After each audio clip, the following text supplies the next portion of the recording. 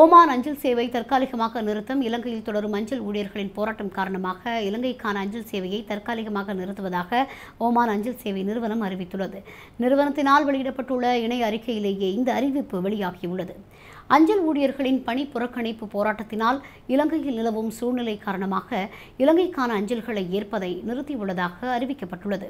மறு அறிவித்தல் வரை இலங்கைக்கான அஞ்சல்களை பொறுப்பேற்க வேண்டாம் என இலங்கை அஞ்சல் திணைக்களத்தினால் விடுக்கப்பட்ட மின்னஞ்சல் அறிவிப்பை தொடர்ந்தே இந்நடவடிக்கை மேற்கொள்ளப்பட்டுள்ளதாக ஓமான் அதிகாரி ஒருவர் குறிப்பிட்டுள்ளார்.